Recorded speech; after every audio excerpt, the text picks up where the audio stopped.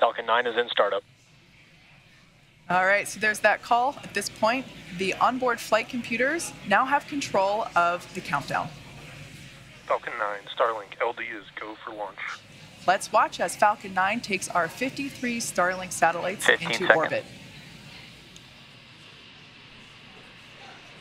10, 9, 8, 7, 6, 5, 4, 3, 2, 1. Ignition and liftoff of Starlink 414.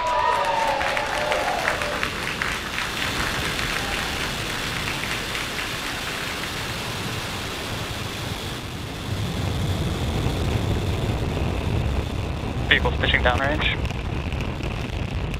M1D chamber pressure is nominal.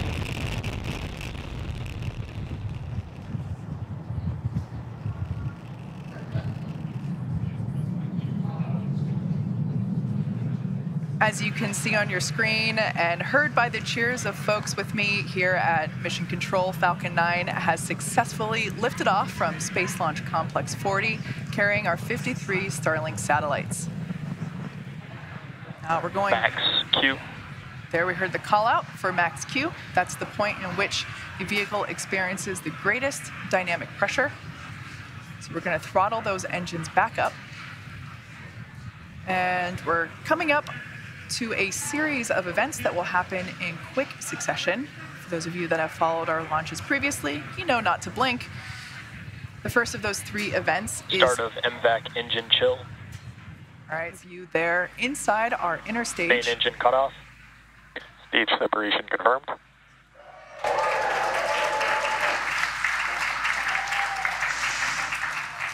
MVAC ignition.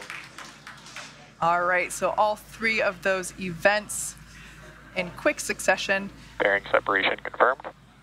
And there we can see that the fairing halves have separated, exposing our Starlink satellites to the vacuum of space.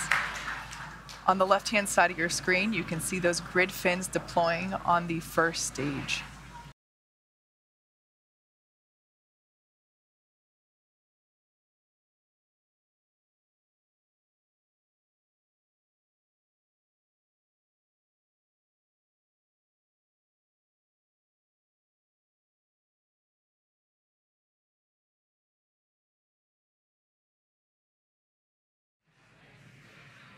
Stage 1 entry burn startup.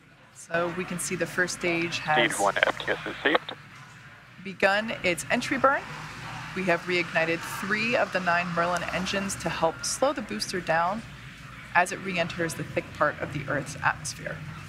This burn will last about 20 seconds. Everything continues to look nominal for second stage. We can see that that entry burn has Stage concluded 1 for first stage. shut down. There we can see that booster making a re-entry through the clouds now. Everything continues to look nominal with second Stage stage there. landing burn.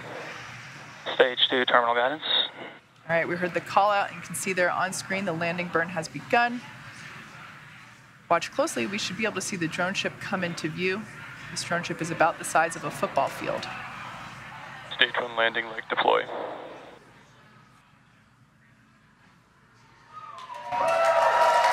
As you can see, this booster has touched down once again. This is the 12th recovery for this particular booster. Stage 2 FTS is safe. This recovery also marks the 115th recovery of a first stage booster.